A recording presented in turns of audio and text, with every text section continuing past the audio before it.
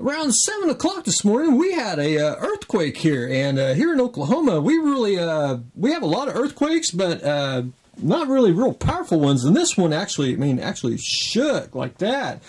And uh, I was standing here, I was building models, and I thought, man, we have like uh, you know construction vehicles, you know, shaking the house.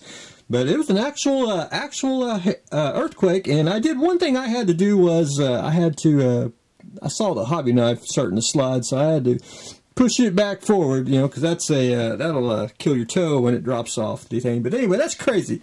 So I'm gonna have to go and uh, check the uh, uh, check the ark and the house and all that stuff. So we may do a video on that, see if there's any uh, earthquake damage. But anyway, the Haunebu. I last I left everything off. I I took some uh, sealer, I sealed it all, that's just so I can uh, tape it.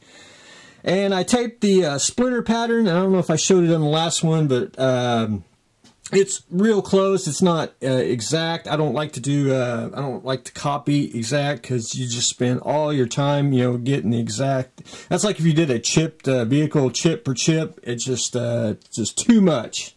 Anyway, I got the splinter pattern. I don't know if you can actually see it, but it's actually a uh, darker green on the gray. So when it when you pull the tape up, you will see the green uh, splinter pattern, but it'll also be uh, uh not really faint, but mute, if you will.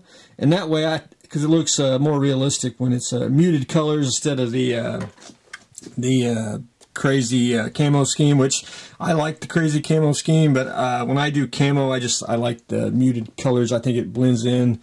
Makes you have to uh, get up on it to look at it to see the uh, you know how the camouflage flows.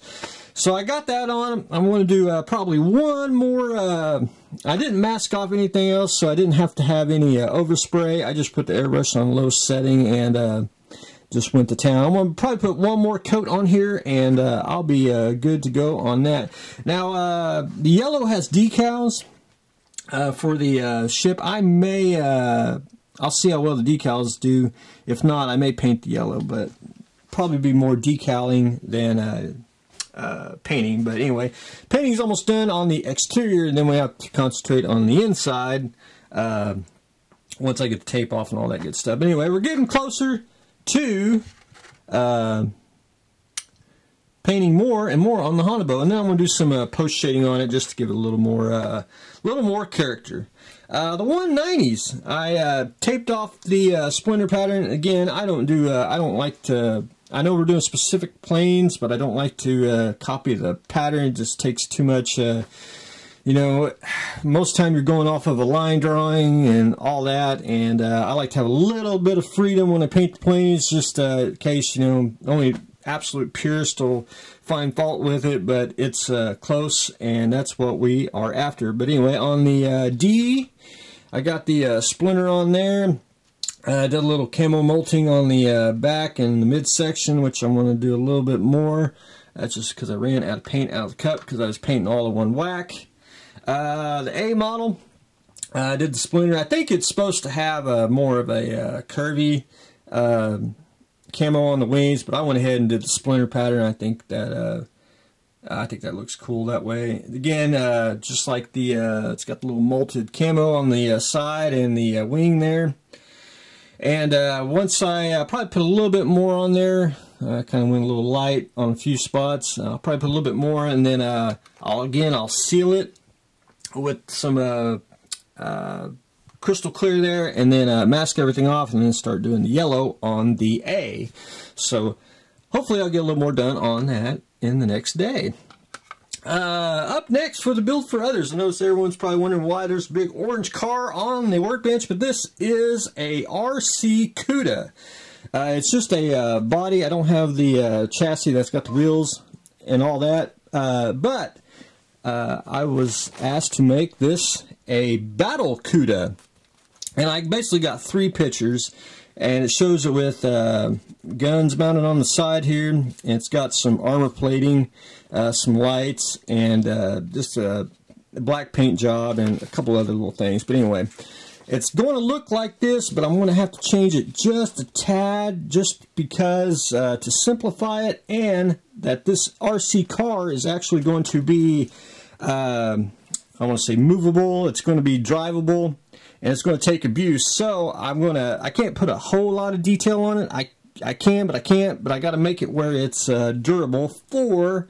Uh, you know, just in case that you know it flips when it's uh, driving or it launches, you know, and everything, uh, you know, is staying in place. So I'm not going to glue any of the armor plating on one thing I'm going to do is I'm going to I will drill some holes and I'm going to actually put some rivets on here and that'll hold it in place. So I'll show that once we get there. But uh, first things that we noticed on the uh, car itself, it's got a screen mesh. So I took some uh, mesh that you can get at the hardware store for your screen door. I uh, roughly cut it out, and since it's a battle CUDA, you don't have to totally be 100% uh, exact, so that's uh, good. So I got that cut there. I uh, changed up the armor plating just a little bit, uh, just to make it uh, easier. I'm actually going to rivet in two spots on each side, and that'll hold it. And then, of course, once you get the paint on there, it'll blend in everything. So that's what we're looking for. Uh, I'm going to do armor plating on the uh, top here and on the back, which I've already got the templates cut out. And we're going to do the sides, and I'm going to I'm going to change just a little bit on the sides here just to uh, keep everything uh, uh, simple and uh, so if anything falls off it you know it shouldn't with the rivets and it won't be no glue and anything else the guns here I actually got two guns uh, to fit on each side, but I was, uh, I'm doing a lot of planning here. Uh, it's going to be just mounted like that.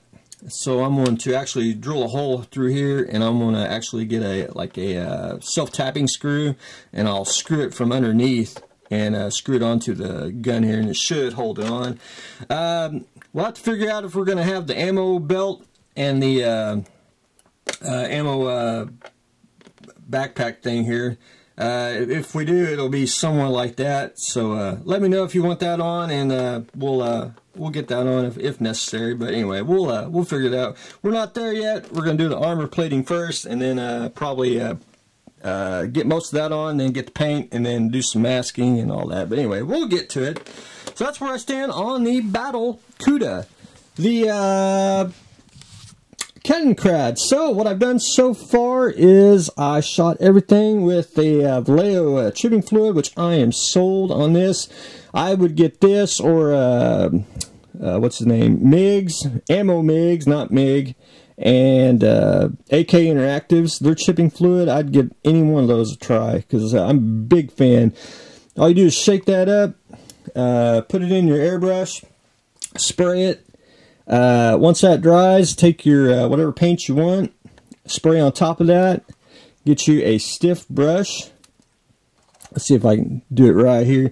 Dip it in water, and you basically uh, uh activate it, like right there, if you see where it's chipping.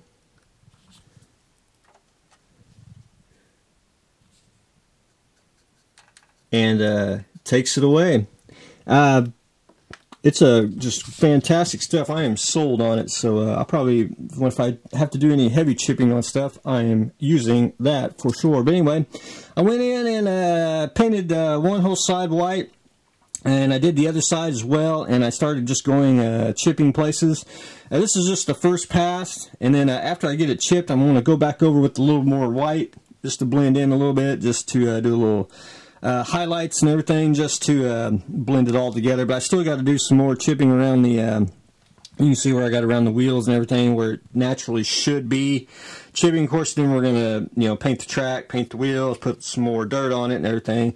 We're going to keep it clean, but we're going to keep it uh, a little more used.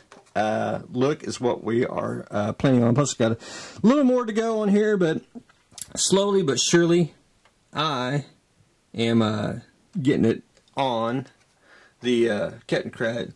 Just a great stuff. But anyway, uh, that's a quick version of what I have got going on today. I'm going to try my darndest to uh, finish the Viper.